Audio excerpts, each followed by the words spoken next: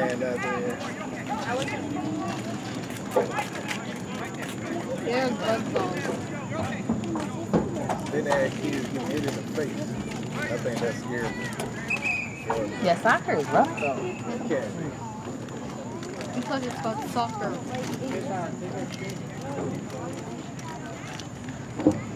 You see, but Jack don't watch any sport on TV, even women. For real? Yeah.